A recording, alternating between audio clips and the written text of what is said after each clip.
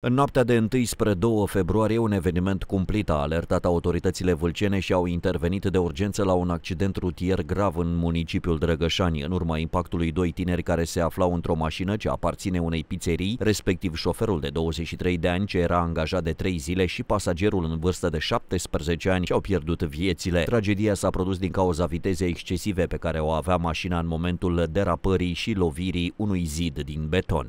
În noaptea de 1 spre 2 februarie acestui an, polițiștii rutieri din cadrul Poliției Municipiului Drăgășani au fost sesizați cu privire la producerea unui, unui eveniment rutier în municipiu. În urma deplasării la fața locului s-au constatat că în eveniment a fost uh, implicată o singură mașină, iar accidentul s-a soldat cu decesul șoferului de 23 de ani și pasagerului de 17 ani. A fost deschis un dosar penal pentru stabilirea cu exactitate a celor întâmplate.